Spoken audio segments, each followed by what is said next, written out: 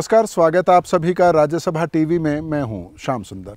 मैं भी भारत कार्यक्रम में आजकल हम पूर्वोत्तर राज्य के आदिवासी समूहों की बात कर रहे हैं और इस सिलसिले में आजकल हम अरुणाचल प्रदेश में हैं।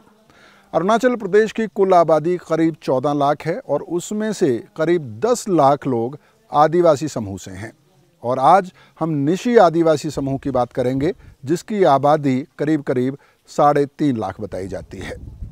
आज के एपिसोड में निशी आबादी की जीवन शैली, उनकी जीविका के साधन, उनके कस्टमरी लॉज और वो किस हद तक मेन स्ट्रीम यानी कि मुख्य धारा कहे जाने वाले समाज का हिस्सा बन पाए हैं, किस हद तक उन्होंने आधुनिकता को अपनाया है, इन सब विषय पर बात करेंगे।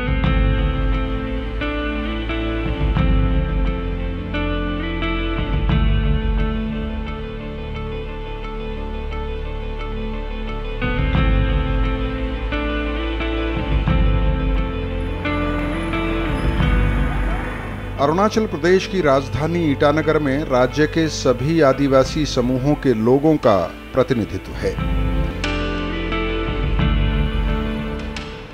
लेकिन निसी जनजाति के लोगों की संख्या यहाँ पर सबसे ज़्यादा बताई जाती है। बेशक निसी समुदाय की अपनी एक विशिष्ट पहचान, भाषा बोली और रीति रिवाज हैं। लेकिन ईटानगर में सभी समुदाय के लोग एक दूसरे में ऐसे घुल मिल गए हैं कि किसी की अलग से पहचान मुश्किल है।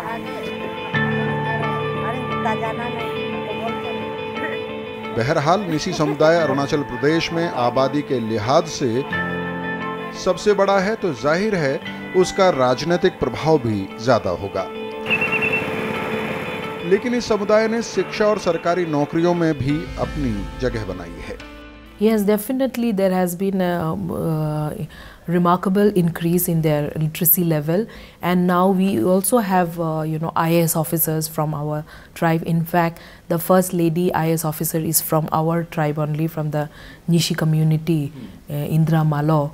So, you know, uh, that way, yes, uh, definitely, uh, not only in the, not only in the Indian administrative service, we also have many doctors, many engineers, many academicians also. So, there has been an increase definitely uh, among our people also. राज्य की सबसे बड़ी जनजाति निशी को 2008 तक डाफला नाम से जाना जाता था यह नाम इस जनजाति के लोगों को अंग्रेज़ों ने दिया था और डाफला इस जनजाति के लिए एक तरह का अपमानजनक संबोधन था। इस जनजाति समूह की लंबे समय की मांग के बाद 2008 में संसद ने एक कानून पास किया और इसके बाद से यह जनजाति अब निशी जनजाति के नाम से ही जानी जाती है।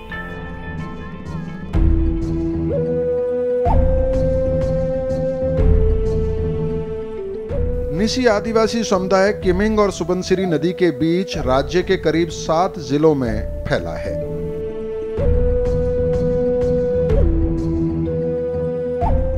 इस समुदाय की बड़ी आबादी अभी भी दूर दराज के गाँवों में रहती है और दूर दराज के इलाकों में रहने वाली निशी जनजाति के लोगों से मिलने हम लोग पहुँचे लोअर सुबनसिरी ज़िले के ये जाली में।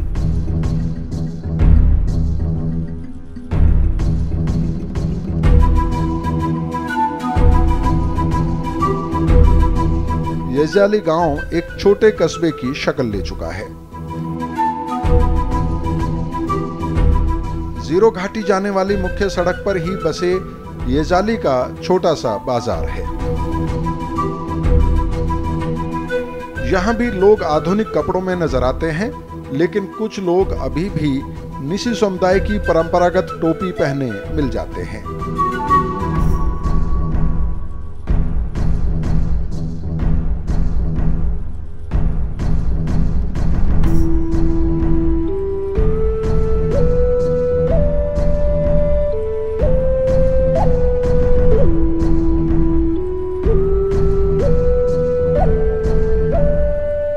बेजाली में एक नौजवान दंपत्ति से हमें उनके साथ समय बिताने का न्योता मिला। आइए। नमस्कार। तो ये। ये दोनों ही लोग अच्छे पढ़े लिखे हैं और दोनों ने ही बाहर रहकर पढ़ाई लिखाई की है। पति ईटानगर में रहकर पढ़े हैं जबकि पत्नी ने बेंगलुरु में रहकर पढ़ाई की है। पर अब दोनों ही ये जाली में रहते हैं।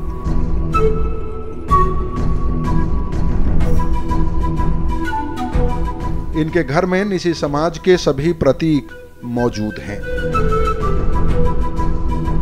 हालाँकि इनकी जीवन शैली अब पूरी तरह से आधुनिक हो चुकी है। ये इसको क्या कहते हैं आप अपनी भाषा में?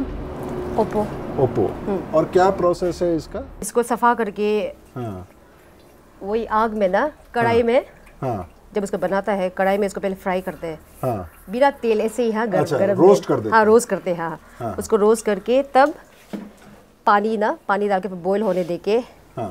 उसके बाद उसको कारपेट बिछाते हैं हम लोग ना हम्म, तो बड़ा से। तो उसमें हम लोग पूरा उसको वो कर देते हैं। सुखा देते हैं। सुखा देते हैं। और जब जब ठंडा हो जाता है ना तभी हम लोग वो दवाई को डालते हैं जब फर्मेंट जो करते हैं। अच्छा फर्मेंट करते हाँ, हैं हाँ। कितने दिन तक करते हैं कम से कम? एक महीना। एक महीना। हाँ, हाँ। ये जो ड्रिंक बनाते हैं आप ये सिर्फ़ औरतें ही बनाती हैं घर की? हाँ हाँ औरतें ही बनाते हैं और औरतें पीती भी हैं या सिर्फ़ बनाती हैं?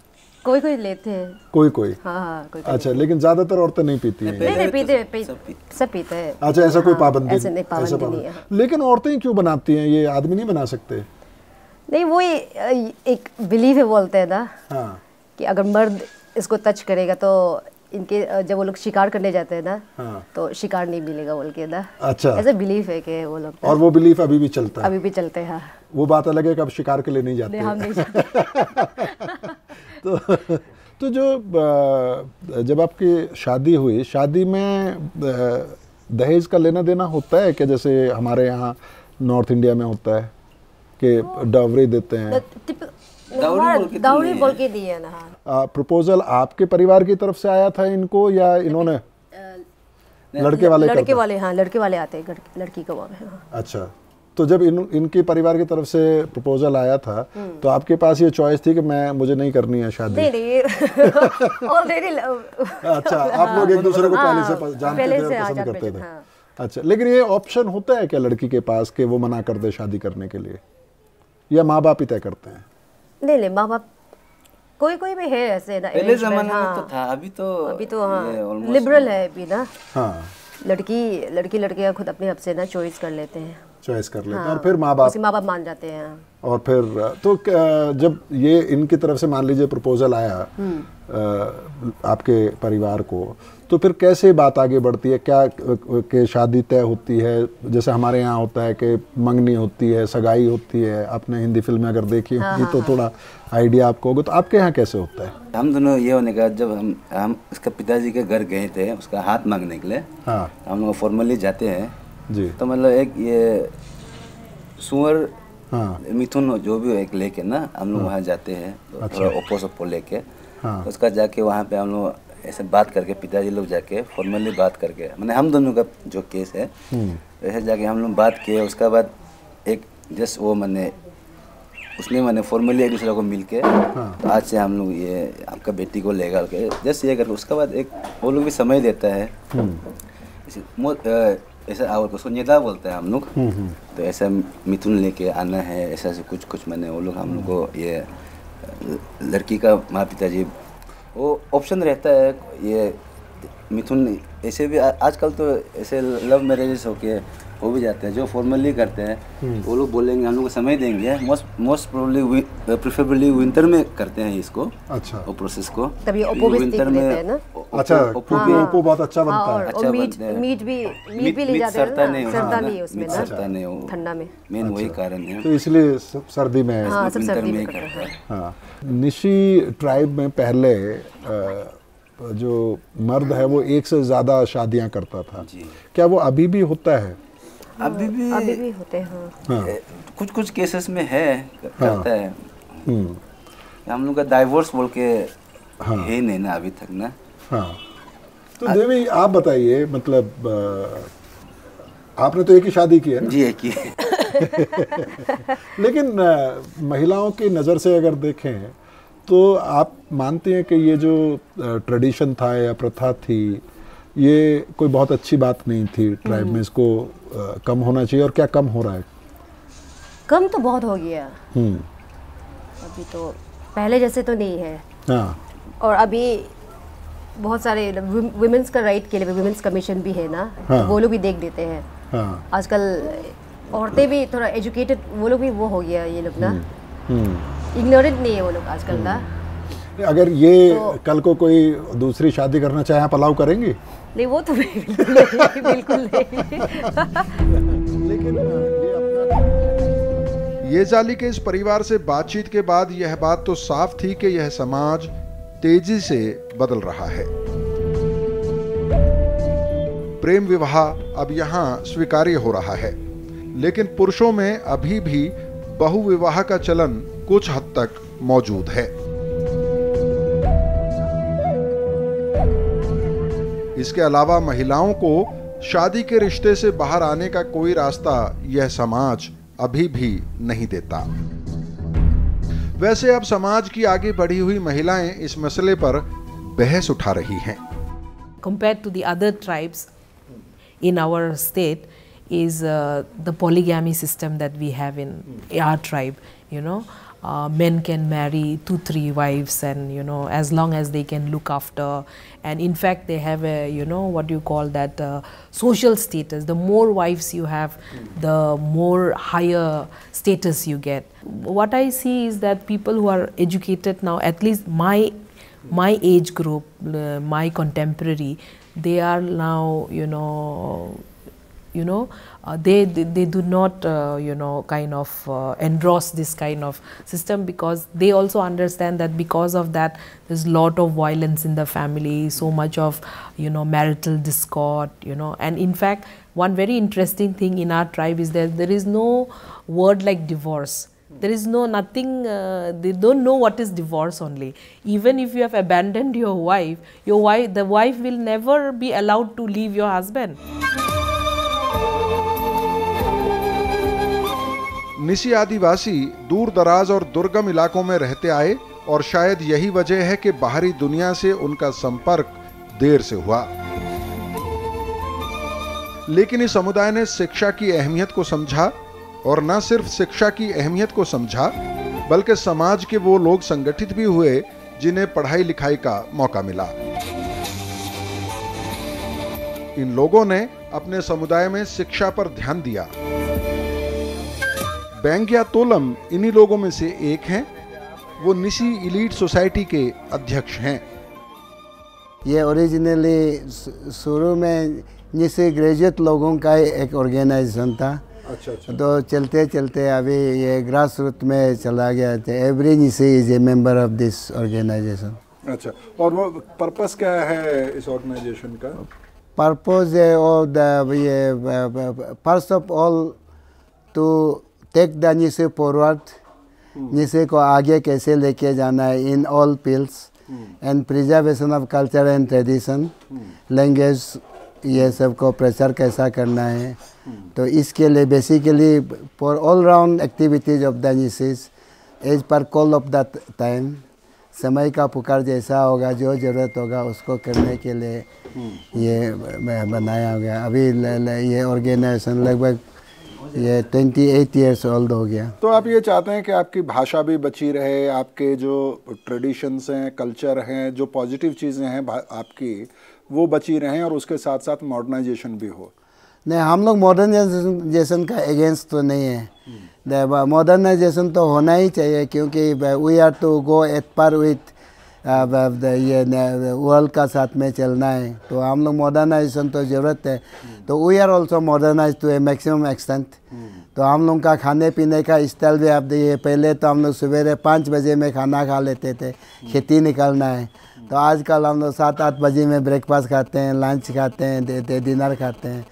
तो हम लोग ट्रेडिशनल वे में होने से अभी तो हम लोग डिनर खा चुका होगा। तो we are modernise in all aspects of life जीवन का हर मैंने मैंने हिस- हिस्सा में हम लोग तो मॉडर्नाइज तो हो गया है।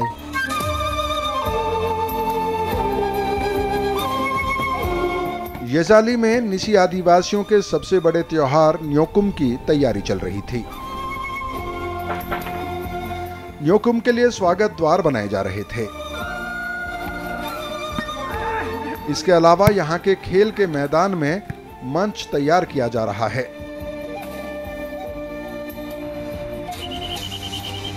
न्योक्यूम त्योहार चार दिन चलता है और आजकल लगभग हर उस ज़िले में जहाँ निसी आबादी है, वहाँ बड़े स्तर पर यह त्योहार मनाया जाने लगा है।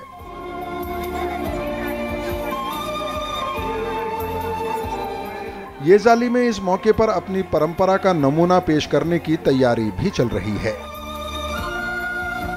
इसके लिए मैदान में परंपरागत निशी गाँव बनाया गया है।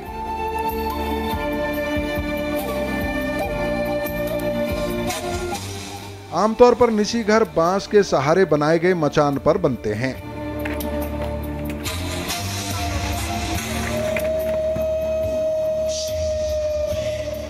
घर काफ़ी लंबे होते हैं।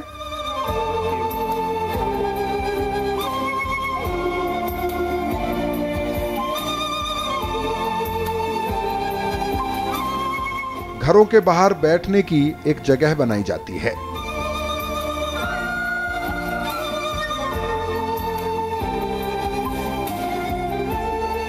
घरों की छत आमतौर पर पत्तों की बनती है।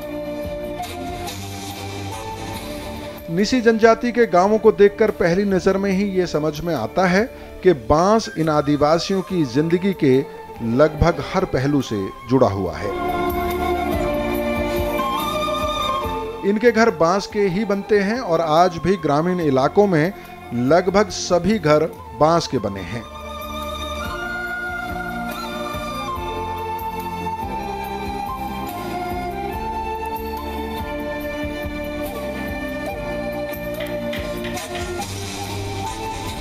इसके अलावा छोटी मोटी नदियों पर बाँस का ही पुल बना लिया जाता है।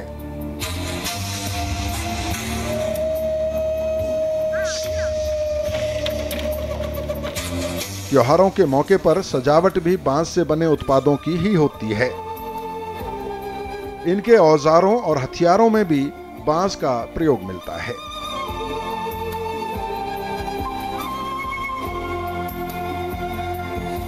ये जाली के बीचों बीच से बहती छोटी नदी पर बाँस की एक बाड़ लगाकर मछली पकड़ने का ट्रैप बनाया गया है। इस बाड़ का दोहरा फ़ायदा है। यह बाड़ नदी को साफ़ रखने में भी मदद करती है। शहर का कूड़ा कचरा यहाँ आकर रुक जाता है और उसे नदी से निकाल दिया जाता है।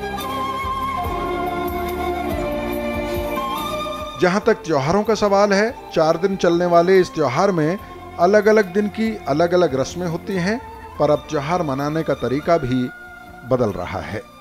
हम लोग न्योकम सेक्रीफाइस करने के बाद कंटिन्यूसली फॉर फाइव डेज़ हम लोग कहीं ये जंगल नहीं जाते थे, ज़मीन को चूते नहीं थे। तो आजकल तो बिज़ी वर्ल्ड में आप उतना दिन इंतज़ार करने नहीं सकते हैं। सिर्फ़ जो पूजा में जाकर सेक्रीफाइस में, जो ओपारिंग में साथ जाता है, जो इसका अल्टर में जाता है वही लोग इसको, ये तबू को प्रोहिबिशन को मानते हैं। बाकी लोग तो अपना जो एक्टिविटीज़ है नॉर्मल एक्टिविटीज़ इसको चला लेते हैं। अच्छा पहले जब आपका फेस्टिवल होता था और बलि चढ़ाई जाती थी, उसके बाद प्रतिबंध होता था कि आप जंगल नहीं जा सकते ज़मीन पे काम हाँ हाँ क्योंकि this is a worship to the nature ना। हम लोग ये धरती माता को ही हम लोग पूजा करते हैं कि मैंने हमको ये सब कुछ देना है बोल के तो हम उसको पूजा भी करेगा और उसको फिर हम लोग ये मार दौड़ भी करेगा। ये तो चलता नहीं है तो इसलिए हम लोग रेस्ट्रिक्शन होता था। अब तक ये इन द फिफ्थ डेज़ पुजारी जब बोलेगा कि आज से हम लोग नॉर्मल एक्टिविटी शुरू कर रहा है तो आप खराब मत पाओ बोल के धरती माता को जब पूजा करता है तब वो बोलता है। उसके बाद हम लोग नॉर्मल लाइफ को जीते थे। त्योहार के दौरान कई तरह के सांस्कृतिक कार्यक्रम आयोजित किए जाते हैं।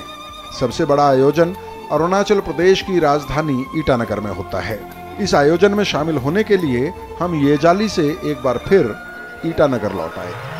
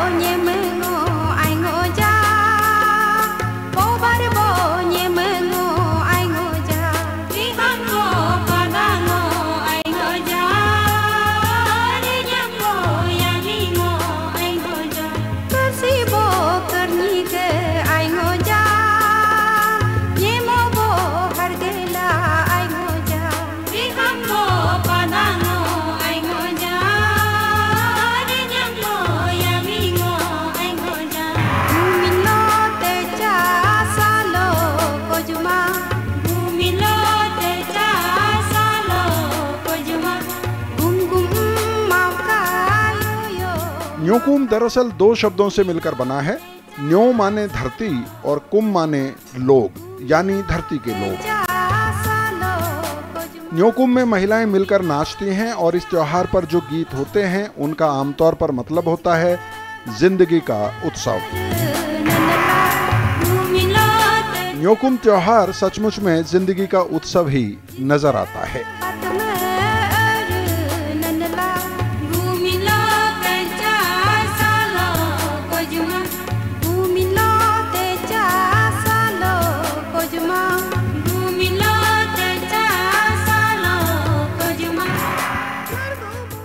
निसी जनजाति के न्योक्यूम त्यौहार में चार दिन ये लोग उत्सव मनाते हैं। महिला, पुरुष सभी पूरे जोश के साथ इसमें शामिल होते हैं। और ये डांस आप जो मेरे पीछे देख रहे हैं, इसको रिकम पाड़ा कहा जाता है, जिसमें समूह नृत्य होता है। सभी महिलाएँ एक साथ शामिल होकर नाचती, गाती हैं। लेकिन इसके अलावा भी इनके कई डांस फॉर्म हैं, कई तरह के गीत हैं, जो इस त्यौहार में ये लोग अलग अलग दिनों पर अलग अलग मौक़ों पर गाते रहते हैं।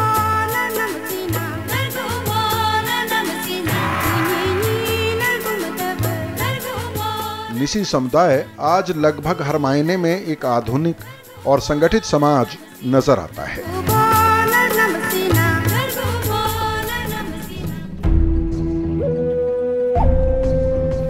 इस समाज ने देश में लागू पंचायत व्यवस्था को बिना हिचक के अपना लिया है।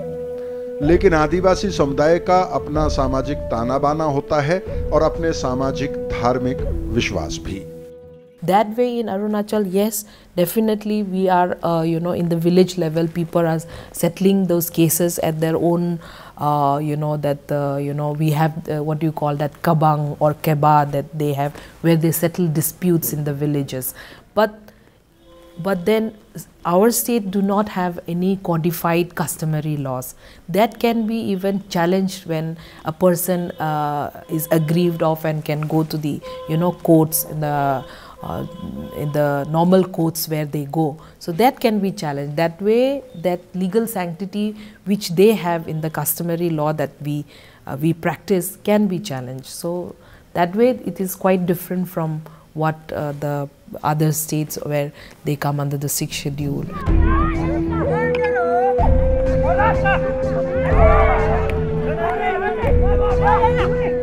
सो इन आदिवासी इलाकों में ब्रिटिश जमाने में बनाई गई एक खास व्यवस्था आज भी काम करती है। यह व्यवस्था है गाँव बूढ़ा की। इस व्यवस्था के तहत स्थानीय प्रशासन और आदिवासी समुदाय के बीच तालमेल और सामाजिक मामलों को सुलझाने के लिए गाँव के बुज़ुर्गों को नियुक्त किया जाता है। इन बुज़ुर्गों की पहचान एक लाल रंग का कोट होता है। अरुणाचल प्रदेश में महिलाओं को भी यह पद दिया जाता है। ये लोग आमतौर पर समाज में शांति कायम रखने का काम करते हैं। इनका मुख्य काम आमतौर पर गाँवों, नदियों या जंगलों की सीमा का मामला सुलझाना होता है। कई बार इनके सामने आपराधिक मामले भी लाए जाते हैं। हालाँकि इन लोगों का फैसला इन मामलों में अंतिम नहीं होता। पर आमतौर पर गाँव के लोग इनकी बात मान लेते हैं। निशी समाज है हाँ। उसमें कस्टमरी लॉज भी चलता है और पंचायत सिस्टम भी चलता, चलता है।, है तो ये दोनों एक साथ कैसे काम करते हैं थोड़ा बताएँगे हमें पंचायत जो है ये जो डेवलपमेंटल एक्टिविटीज़ में। काम कराता है हम्म। हम लोग का समाज में ना हम्म। इसका बाद ये जो है कस्टमरी लॉ को गाइड करने वाला लोग गामबुरा लोग होता है गामबुरा लोग कस्टमरी लॉ में जो किसे शादी करना ये करना ये सब ये लोग का ऊपर में डिपेंड होता है। कोई सामाजिक डिस्प्यूट होता है तो गाँव बूढ़ा गाँव बूढ़ा लोग शुरू करेगा और काम कर देगा और उन लोग डिस्प्यूट को पूरा सेटल कर देगा। और इनका सेटलमेंट को प्रशासन भी मानता है? हाँ मानता है। मानता है। हाँ। लेकिन जो गाँव बूढ़ा की व्यवस्था थी वो ब्रिटिश ज़माने में की गई थी ट्राइबल सोसाइटीज़ में। आज कितना रेलेवेंट है ये? क्योंकि आज तक हम लोग का यहाँ में जो ट्राइबल एरिया में हम लोग का कस्टमरी लो ज़्यादा चलता है। हम्म। उसको मेंटेन करने के लिए गामबुरा लोग को अभी तक जिन जी ये कंटिन्यू में रखा हुआ है। इसलिए तो और इससे एडमिनिस्ट्रेशन को मदद मिलता है हाँ बहुत मदद मिलता है कि एडमिनिस्ट्रेशन कभी कभी बस्ती में नहीं जा पाता है दूर दूर बस्ती में। उसमें हम गामबुरा को इंटरेस्ट करता है कि ये पालना केस कुछ शादी का हो या चाइल्ड मैरिज का हो उसको उन लोग को इंटरेस्ट करके उन लोग को डिस्प्यूट को ख़त्म करने देता है बस्ती लेवल में। और आप अपना नाम मुझे बता दीजिए। मेरा नाम तहसील अमदा और आप भी गाँव बूढ़ा हैं। यहाँ का ये पूछो ब्लॉक प्रेसिडेंट। जी। हाँ। गाँव बूढ़ा का। हाँ गमरा का। तो जब आपके पास कोई डिस्प्यूट आता है गाँव में तो उसका क्या तरीका होता है? आप अकेले सेटल करते हैं या सबके साथ बैठ के सेटल करते हैं? नहीं सब गमरा बैठ बैठ के हम सब सेटल करता है। जी। तो किस किस तरह का केस आता है आपके पास? आ, बहुत केस आते हैं मेरे पास में। जैसे? ये मर्डर भी आता है चोर चोर ये चोर डाकू भी आता है। आप अपना नाम मुझे बता दीजिए दादा। मेरा तमल जी। और कितनी उम्र है आपकी? मेरा उम्र तो सिक्सटी फाइव 65 तो अभी क्योंकि अब तो यहाँ पंचायत सिस्टम है अरुणाचल प्रदेश में तो आप लोग कैसे काम करते हैं? पंचायत पंचायत है कोर्ट है पुलिस है तो आपका क्या रोल है? हम लोग केस सेटल कर नहीं सकेगा तो वो तो पुलिस में दे, दे सकता है और सीओ को दे सकता है। तो ज़्यादातर आप जब केस सेटल करते हैं तो आपकी बस्ती के लोग मान लेते हैं या ज़्यादातर लोग पुलिस के पास जाते हैं? बस्ती लोग मानता मानता है। मानता है हम हम सब बस्ती को वो तो पूरा मानता है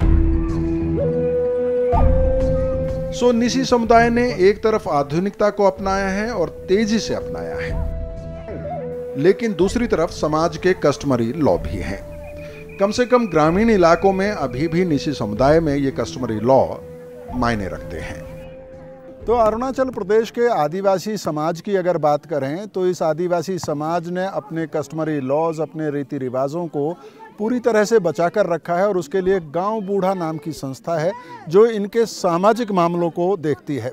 लेकिन जहाँ तक प्रशासनिक मामलों का सवाल है तो यहाँ पर पंचायती राज को भी इस आदिवासी समूह ने बहुत ही आसानी के साथ स्वीकार किया है और यहाँ के प्रशासनिक काम हो या विकास से जुड़े हुए दूसरे मसले हों, उस पर पंचायत ही फैसला लेती है।